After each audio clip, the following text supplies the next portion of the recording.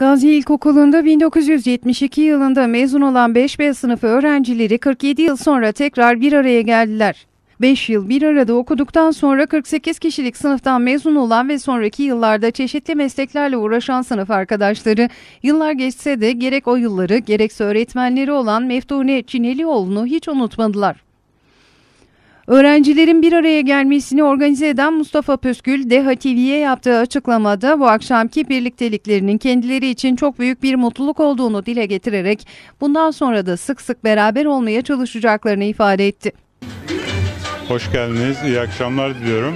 Biz e, Gazi İlkokulu 1972 5B sınıfı mezunları olarak bu geceyi organize ettik.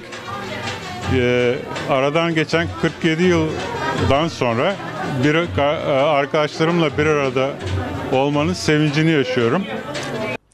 O dönemin mezunlarından olan Özden Yükselsi bu akşamki buluşma öncesinde gündüz okullarına ziyaret ettiklerini, sınıflarında o yıllarda oturdukları sıralarda tekrar oturarak hasret giderdiklerini belirterek 5B sınıfı olarak büyük bir mutluluk yaşadıklarını vurguladı.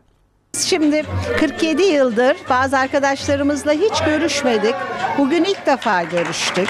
Ama sanki 47 e, yıl evvelki sınıfımızdaki e, yaşanmışları yaşadık. Okulumuza gittik bugün, sınıflarımıza girdik. Bizler çok mutlu olduk. Hele dışarıdan gelen arkadaşlarımız var. Onlarla bir arada olmaktan büyük bir mutluluk duyduk. Ee, çok heyecanlıyız. İnşallah bunu devam ettireceğiz. Sağlığımız el verdikçe. Öğretmenleri olan Meftune Çinelioğlu'nun da yanlarında olmak istemekle beraber sağlık sorunlarından dolayı etkinliklere gelemediğini söyleyen Özden, sevgili öğretmenlerine de uzun ömürler diledi. 47 yıl sonra bu güzel birliktelik, anıların anlatılması, şarkıların söylenmesi ve sohbetler eşliğinde geç saatlere kadar devam etti.